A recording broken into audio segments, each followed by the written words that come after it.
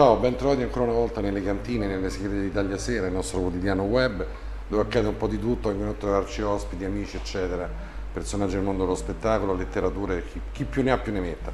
Oggi abbiamo con noi Grazia Di Michele, Ciao a trovarci, ciao Grazia. Diciamo poc'anzi della chitarra, no? Una delle poche eh, antesignane, delle cantautrici voce e chitarra. Cominciato così e vado avanti così perché poi le canzoni le scrivo alla chitarra, ma mi capita molto spesso anche di fare dei concerti eh, da sola. Ne ho fatto uno a Ferentino pochi giorni fa da sola con la chitarra o ieri per esempio ero al Disability Day a Piazza del Popolo Bellissimo. e a un certo punto ho imbracciato la chitarra in questa piazza piena di gente, ho cantato una canzone voce e chitarra. Ma questo non vuol dire che poi quando faccio i dischi eh, non ho piacere, non mi piace lavorare sui suoni, sugli arrangiamenti, ma il disco è una cosa, il live è un'altra certe volte rendere una canzone così come nasce nella sua nudità è la, è la cosa migliore nel mio caso. Sì, poi infatti è proprio questo, no? il fatto di, di concepirla musicalmente e quindi in un certo senso poi la vesti con gli arrangiamenti ed è un vantaggio. Credo questo Mm. sì. che poi rispetto agli odori di oggi dove sono in qualche modo guidati dalle tendenze, dai suoni, eccetera, diventa molto più pericoloso. Sì, penso che mm, il fatto che all'inizio io abbia attraversato la prima fase assolutamente folk acu- acustica non mi ha impedito poi, partendo comunque dalla scrittura semplice, voce chitarra, di fare delle sperimentazioni nel jazz. Ho fatto due album con Paolo Di Sabatino, il suo trio jazz. Ehm, insomma, ho fatto tante cose perché comunque sono una persona curiosa che ama la musica e, e mi confronto anche con stili, generi, suoni. Quindi non mi ha chiuso, non mi ha rinchiuso in una gabbia questo, però mi rendo conto che eh, non è cambiato il mio modo di fare musica. Io amo molto, così come sono partita al folk studio con una chitarra e, e cantando con poche persone davanti, oggi è la cosa che mi piace fare di più, riuscire comunque a creare una bella comunicazione con il pubblico in maniera molto, molto semplice. Poi sono stati inizi, una volta si usava un termine, oggi eh, mi è buttato lì che era impegnato, no? Mm. Perché tu hai iniziato in trio che era la Petivetro con una, Sì, con una sì. formazione tutta al femminile, poi negli anni 70 Sì, eh, e abbiamo cominciato... era anche politica. Assolutamente sì, perché Eh. era erano gli anni in cui il movimento femminista era eh, bello, bello tonico e si faceva sentire, cosa che purtroppo oggi non succede più. E quindi noi abbiamo iniziato a, a scrivere canzoni parlando della condizione femminile e andando nelle piazze, anche sulle cassette della frutta, perché sentivamo che per noi era importante eh, mandare dei messaggi. Infatti il primissimo disco che io ho registrato, Cliché, che ho scritto insieme a mia sorella Joanna, che ha fatto parte proprio della, della nascita no, di, di- di questo gruppo, era un disco eh, in cui si parlava proprio di questo, no? delle tematiche che allora non erano mai state affrontate, l'aborto, eh, la separazione, eh, la donna che viveva un certo tipo di uomo, eh, appunto secondo un cliché, in, in maniera... eh, patriarcale, no? Perché se esatto. poi l'Italia in realtà è matriarcale, no? Ne- Eh sì. Nei fatti, però nella... E quindi dalla di vetro siamo passati a fare il disco da sole, eh, cliché, e 30 anni dopo abbiamo detto, ma stiamo ancora a parlare di donne, ma possibile mai? Non è che siamo anacronistiche, che- però poi dopo eh, apri un giornale o apri la televisione e continui a vedere eh, storie terribili di femminicidi, Vero, cominci a vedere che nel mondo la donna continua ad essere l'anello debole della, della catena, continui a vedere che la condizione non solo ovviamente in Italia ehm, In Italia veramente poi siamo a livelli primordiali. si è rit- sì, c'è stato proprio un ritorno indietro quando dicevo prima che non esiste più un, fe- un fenomeno, un, un- come dire, un movimento importante come il femminismo negli anni 70 dove tante cose non potevano passare, tante offese, tanti ritorni indietro no? proprio nel- nell'acquisizione del rispetto, dei valori, ehm, dei diritti civili. Ecco, proprio non essendoci più neanche questo baluardo, passano delle cose senza che ci si renda conto che sono dei segnali eh, tremendi, quando eh, si ritorna indietro ancora a parlare di, di aborto, ma anche eh, di famiglia vissuta in un certo eh, modo sulle spalle delle donne, il lavoro, il diritto al lavoro. Ecco, siamo 30 anni dopo abbiamo detto ancora a sto punto stiamo Sì. e poi abbiamo cominciato a parlare e a raccontare donne anche in questo disco ehm, che si chiama Sante Bambole Puttane. Che lo appena- facciamo vedere subito, visto che ce l'abbiamo Sì. qui. Tra l'altro un disco molto curato, con all'interno, come, come accadeva una volta con gli album, i vinili, dove c'è proprio un libro con tanto di illustrazioni fotografiche, i testi per ogni canzone. Sì, Insomma, ma è un lavoro importante. L'ho sempre fatto questo. Sì, eh. però te Ah. raramente oggi se ne Eh, vede. ma no, ma perché oggi non si comprano i dischi fisici, cioè si scaricano Brutta su... sta cosa, è terribile. È, è tremenda, ma forse noi siamo abituati a, a vivere il disco, il vinile, il CD come un feticcio, però io non capisco come si...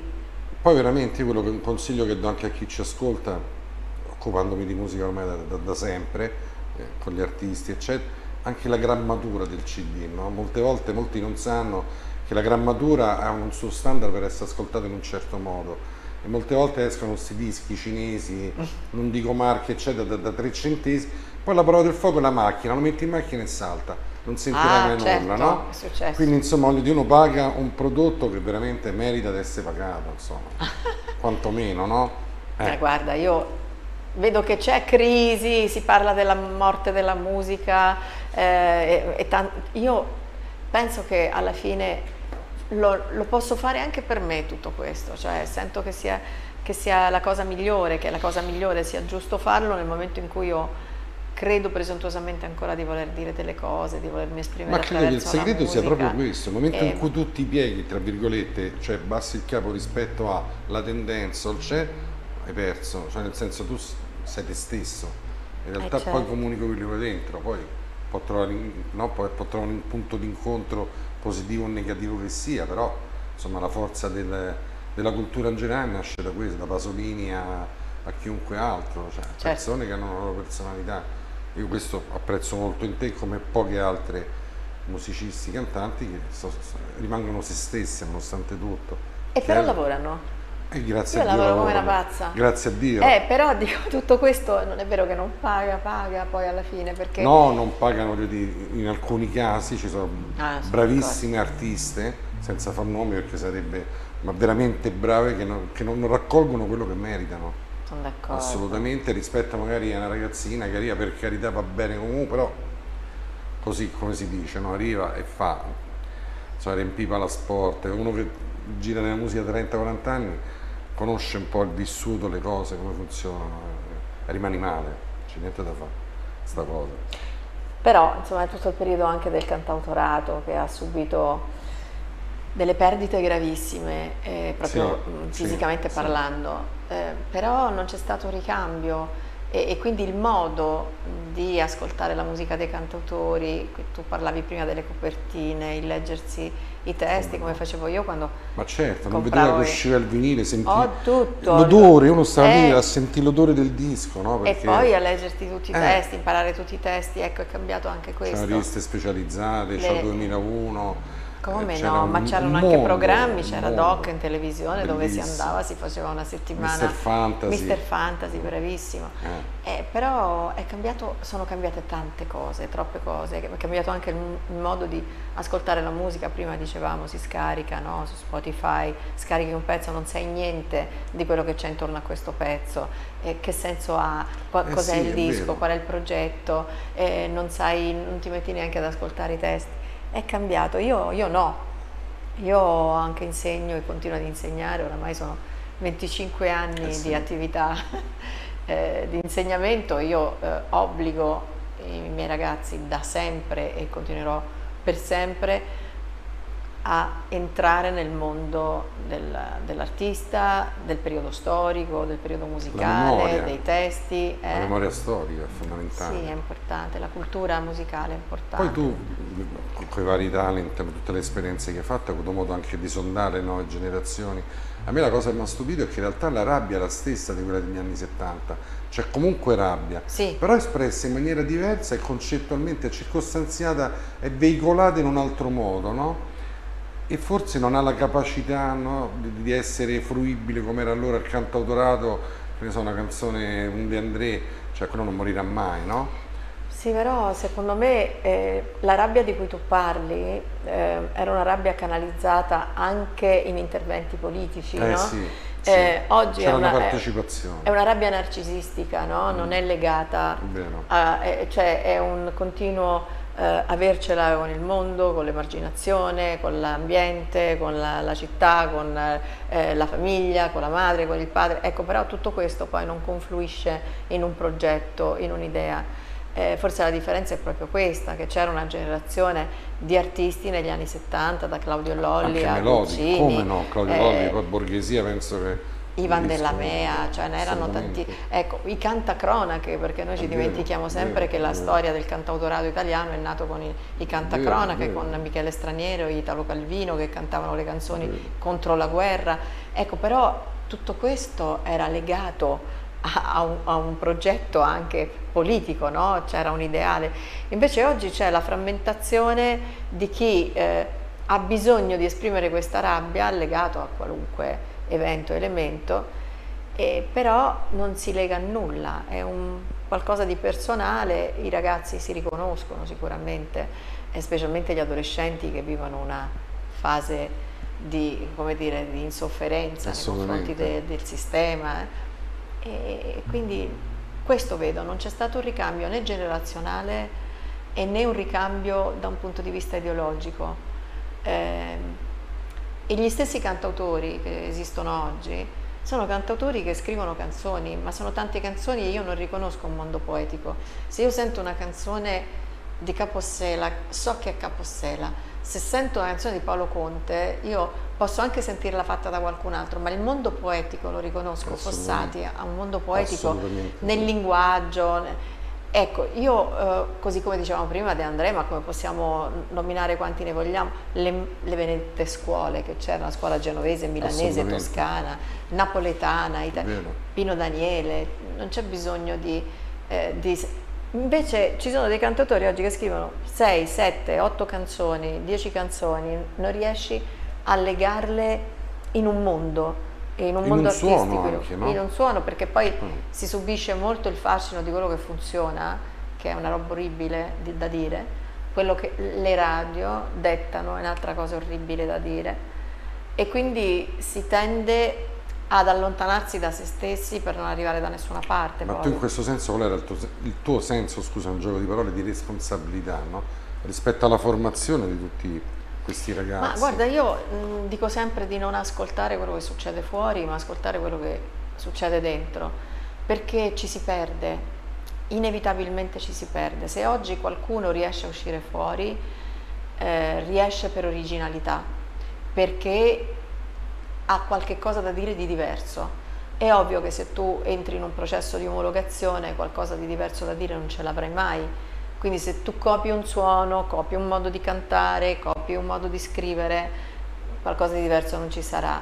E certe volte bisogna proprio isolarsi, ma anche mentalmente evitare di avere paura di quello che la gente vuole, tanto non sai quello che la gente vuole. Ti- Brava, forse perché allora non, penso non si componesse, si, scrivono canzoni perché voglio far successo, scrivi quello che sentivi dentro. Sì, ma per fare Non successo, era mai, ma no, esatto, non era mai Guarda, io stavo, finalizzato a... stavo no? ragionando prima alle canzoni dell'estate, tu, tu no? improvvisamente escono le canzoni per l'estate, no? Ma perché? Cioè, ogni artista, anche un artista eh, impegnato, a un certo punto nel CD che esce ci sta la canzone per l'estate. Ma tu, la devi scrivere con Brava, un progetto brava. preciso, quindi Esatto. spiaggia, sabbia, il mare, l'onda a pelle, le stelle, la luna, la fortuna, la festa. E allora anche questo, no? ci sono ehm, dei modi eh, secondo me che sono poco ispirati e che tendono a essere eh, delle strategie commerciali. Ecco, queste cose qui mi fanno paura. Molto. Uno, un ragazzo deve investire su se stesso leggendo, studiando, imparando dagli altri, ascoltando tanta musica, andando a vedere tanti concerti, tanti musical, ma lavorando su se stesso, cioè cercando Anche sulla musica, no? eh certo, però ecco, io dico sempre, non, non vi preoccupate de- de- di quello che va in radio o non va in radio, perché sennò è finito, Ci abbiamo 10.000 ultimo il prossimo anno, ci avremmo- Sì. che però non vanno da nessuna parte perché c'è ultimo, ce n'è uno, Eh, certo, quindi chiaro. Alla fine. Chiaro. Oggi c'è poco, infatti è vero. Voce chitarra, voce pianoforte, poche cose. Però esistono dei festival belli, io quest'anno ho aperto la Musicultura, sono Sì, stata musicultura poi. Ho un progetto con loro, loro sono eccezionali sotto questo aspetto perché lavorano molto sulla canzone d'autore e incentivano molto il, il lavoro su- su- sui cantautori, sulle cantautrici. Ma perché per esempio i talent non hanno mai investito sugli autori, sempre sugli interpreti? Eh, ah, eh, mi- ma adesso... Perché?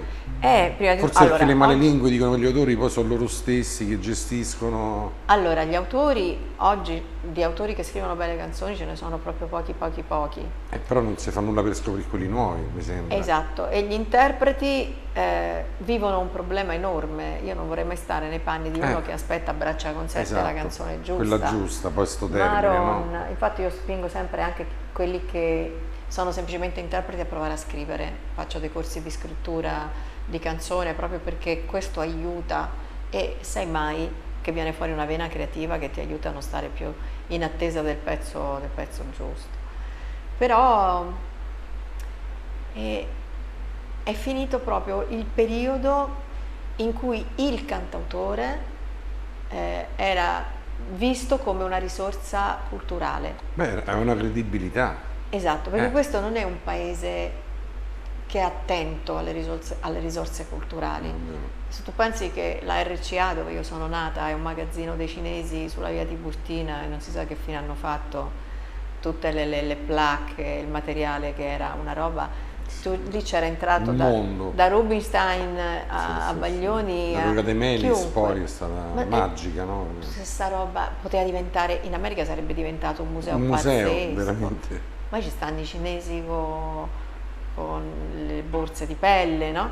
Questo non è un paese che incentiva, se tu vai a vedere no, nei progetti anche dei politici, la cultura non sta mai al No, non primo c'è mai, posto. mai. No, sta né tra lo svago e il tempo libero, cioè in tutte quelle attività, Intrattenimento l'intrattenimento. Con un termine arcaico, no? Io non ho una pensione, quan- quante sono 30 anni che faccio questo lavoro.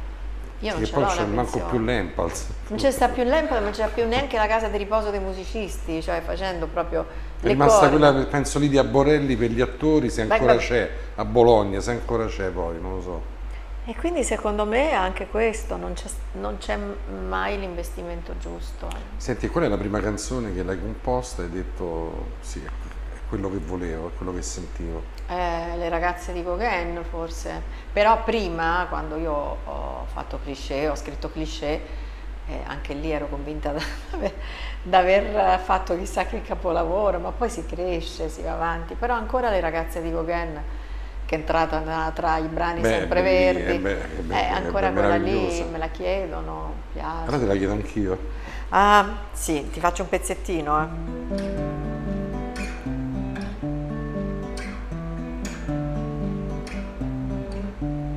Ballerine di Degas, bianche nuvole il vento non le scioglierà, le bambine di Renoir, fiori gialli a Montparnasse, le ragazze di Gauguin, dentro gli occhi hanno il sole, lampi di uragani e la notte le accenderà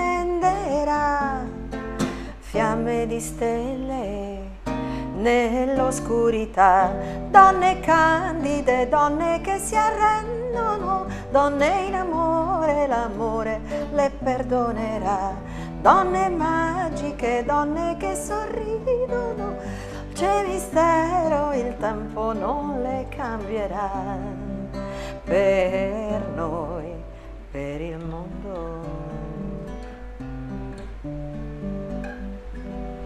Quanto è Riscal- bella, cioè, è riscaldarsi. Quanto è sì. bella. No, è particolare, forse Ma- perché... Ma sai che, che poi, ecco, diciamo tu, è il tuo stile, no? Per cui senti la voce, senti la, la- la- la- cadenza proprio sequenziale, melodica, hai un tuo, hai un tuo suono, questo, no? Poi questa l'ho ascoltata miliardi di volte, adesso vedendolo da vicino, questa sequenza in continuo d'accordi su ogni cambio de... Che sembra... C'è una ricerca, insomma, Ah, no? Voglio dire, non è una cosa, non è che uno si mette lì e fa, capito, ma oggi faccio le ragazze di Coquet, Eh, insomma, no? Sì, perché poi sono, è un incedere, sono Eh. tre parti distinte che però sono armoniche. Forse questo è il motivo per cui ancora eh, poi ha un ritornello abbastanza, un inciso abbastanza... Ma una domanda stupida, tu sei di origine abruzzese, no? Tu hai avuto un po' una, una formazione anche culturale rispetto alla musica popolare in questo senso? Allora, ehm, io, mio papà era di origine abruzzese, ma mia mamma è napoletana e io ho ascoltato tantissima musica napoletana, ma quella dal 600, cioè quella proprio Quindi storica, partiamo- stiamo esatto. partendo proprio dalle, dalle radici e, e l'ho amata sempre tantissimo, quindi se ho avuto una eh, formazione popolare ce l'ho avuta da quella parte lì. E ancora oggi io, mi piace tanto cantare le canzoni. No, perché tu usi spesso queste aperture, no? Nel senso parti con un, no, un fraseggio che poi comunque una volta si dice esplode, no? Poi si apre sempre, no? sì. Quindi è molto... Sì, sì, è vero, eh, è vero, che è, è tipico, tipico. della...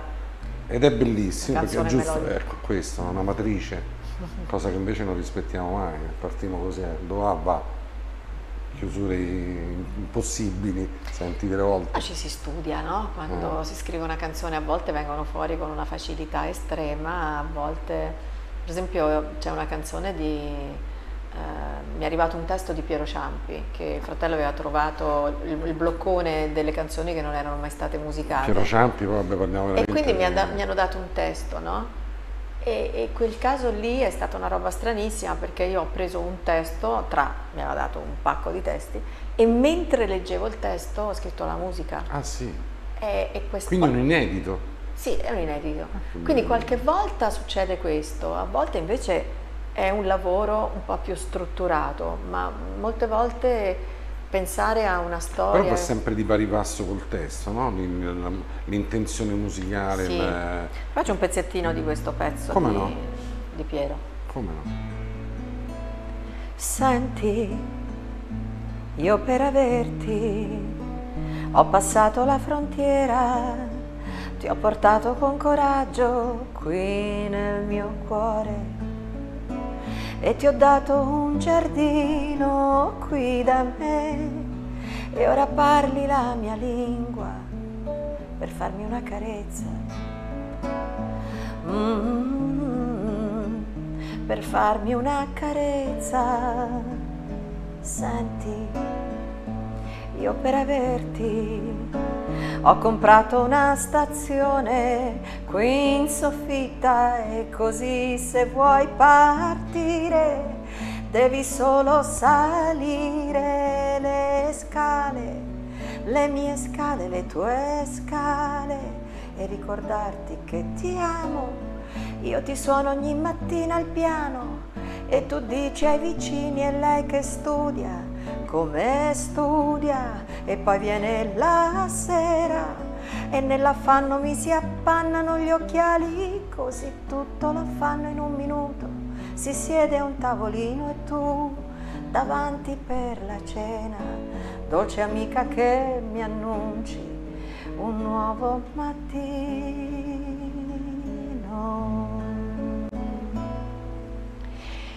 Straordinario. E il testo bellissimo, Ma però è perfetta anche nel, nel- nel- Però lì- Hai colto proprio la... lì succede che io leggo e scrivo e non torno mai indietro, no? Poi invece altre volte, No, veramente, guarda, perché Piero Ciampi è un po' tutto, perché sono un grande fan di Anche Piero io. Ciampi. E quindi veramente complimenti, hai proprio colto poi Ti sti testi, testi, ho comprato una questo stazione. cioè, so- così se vuoi Cioè, io partire... ero- Ma chi scrive una cosa? Cioè, No, così se vuoi partire devi solo salire, Salire le, le scale, scale. le mie scale, le Esatto. tue scale, ma ricordarti che ti amo. È pazzesco, cioè, ma veramente uno non si rende conto, no? Perché non, Ma se tu, se tu non si rifletti ascolta su... più. Certo, se rifletti su questo testo dall'inizio, eh, voglio dire, da- dalla Cioè, prima all'ultima parola. poesia pura, questa è poesia, non è, non è un testo, capito? Ma brava, è be- veramente sposa la musica in maniera e l'esecuzione, Ti ringrazio. bellissimo. Senti, invece parliamo di donne E succede che esce un disco tutto sulle donne, ma anche un romanzo al femminile, mm -mm. Apollonia, che poi Apollonia è uno dei personaggi che, che fanno parte disco. del disco. Qual è il, chi nasce prima, il romanzo? No, o... no, sono nati praticamente insieme. Forse un po' prima il romanzo.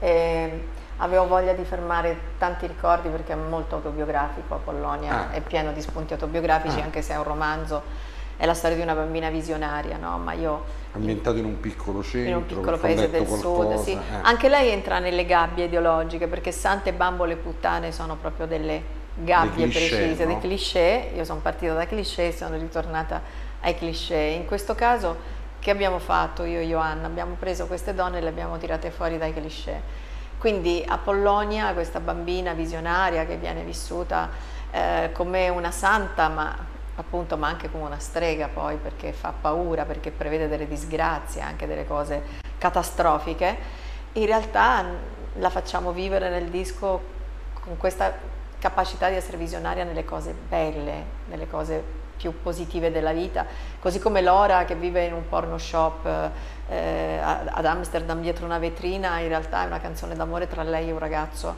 che la guarda e, e, quindi è una puttana di cui si racconta però in un altro modo una storia d'amore. Ecco, tutte queste donne che sono lì dentro, che nell'immaginario maschile sono sante bambole puttane, invece Stereo, sono, stereotipo. sono delle donne che a volte non hanno voce, no? E allora proviamo a dargliela questa voce. Sono, la maggior parte sono donne esistite. Eh, Abi è questa ragazza che si è fatta esplodere in un centro commerciale in Israele, una ragazza palestinese di 18 anni lì c'è un tipo di violenza mentale, arrivare a strumentalizzare certo, la mente certo, di una certo. ragazza bella, c'è la sua foto lì in copertina, ehm, c'è la moglie di Scott Fitzgerald, Zelda, la, la, la pazza, no? c'è Helen, la suora che andava, non so se tu hai visto Dead Man Walking, eh, la suora che andava a, consola, a consolare il condannato a morte, c'è la, c'è la bimba eh, appunto Apollonia visionaria, c'è la bimba che chiede l'elemosina, ci sono tante storie. Sono delle storie che non avrebbero storia se uno non ci provasse no, a, a, raccontarla. E ci, ce ne fai ascoltare qualcuno? E faccio ascoltare, allora questa è una bambina incontrata in metropolitana con un burattino di legno, va a capire dove arrivava, probabilmente da, dall'est.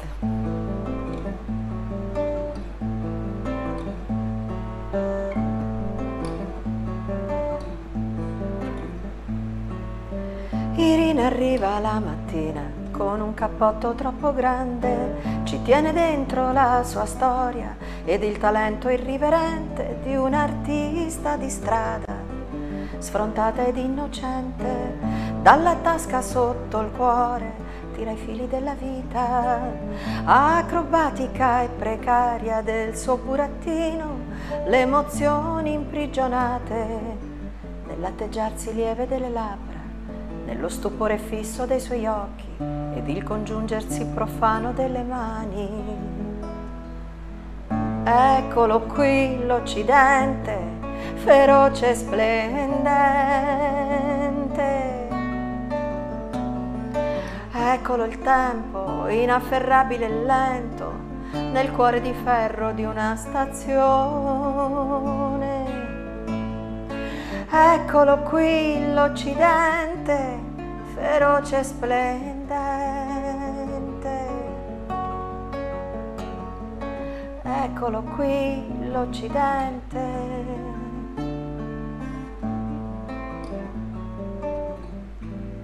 Questo è un pezzettino di, di Dorin, no, questa si chiama Irina. Irina. C'è sempre un po' l'infanzia rubata poi, no? Beh certo, ma anche l'illusione di trovare eh. sempre un mondo migliore laddove non ti guarda nessuno poi, no? Perché alla fine la gente passava, lo dice poi, la gente guarda bene. Infatti l'abitudine e si allontana. C'è incredibile, uno fa l'abitudine al malessere, alla...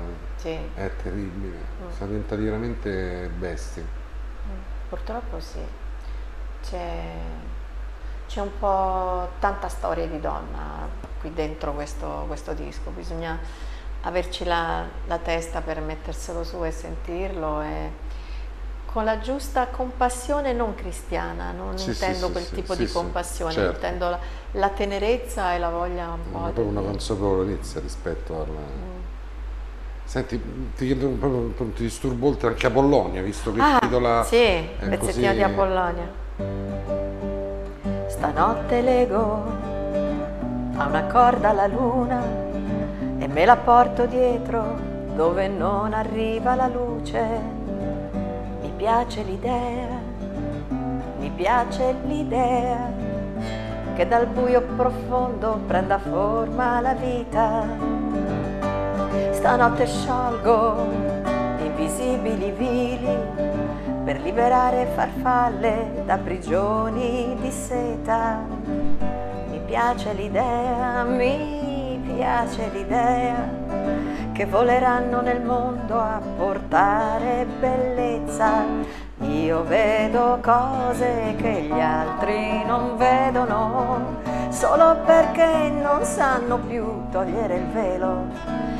Io so le cose che gli altri non sanno, perché alla verità preferiscono l'inganno.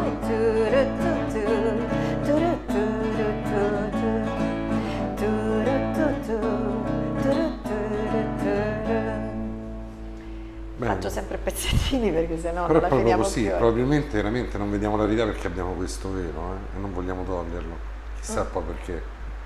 Perché abbiamo paura delle cose che non possiamo controllare Eh, razionalmente, certo, mi verrebbe da dirti questo. Siamo- poi è molto maschile. Eh, Vabbè, ci sono anche tante donne, non credere, però è una prerogativa più maschile quella di essere pratici, di Sì, essere terreni, sì. di... eh, pensiamo che nelle caverne, io penso sempre a questa immagine, l'uomo che va a, deve fare, uscire, trovare il fuoco, uccidere gli animali e questa donna che invece è lì e pensa e, e magari è gravida e aspetta un figlio e ha tanto tempo per riflettere, per pensare, per eh, creare, per annoiarsi, no?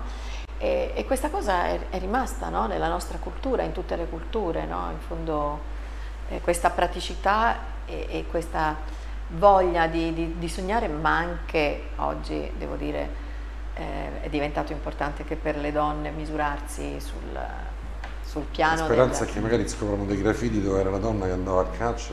Sarebbe E chi lo sa? bellissimo, capito? No, perché so, so cresciuto in una famiglia di solo donne, perché mio padre è morto Chi ero piccolo. Per Ah. cui mamma, sorella, zia, nonna, per cui sono andato in questo harem, no? E ragiono molto al femminile purtroppo, Eh, nel senso che capisco tante cose, no? le- le- le- le conosco. Ma tu l'hai letto il libro? Ancora no, E allora te lo faccio Eh, avere perché certo, lo devi leggere, sì. che secondo me sta famiglia di sì. donne ti, Sì, ti sì, ritornerà beh, qualche eh, cosa. Assolutamente sì. Mhm. Quindi sono un grande sostenitore, sono convinto assolutamente che la terra è terra, il femminile, no? Quindi spiega tutto.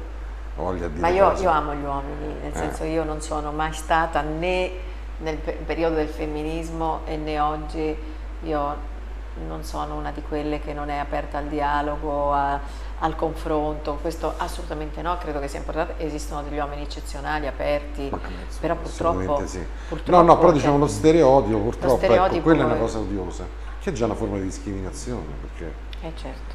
eh, poi quello che vediamo e leggiamo, noi facendo questo lavoro lo scriviamo tutti i giorni, no? Non se ne esce.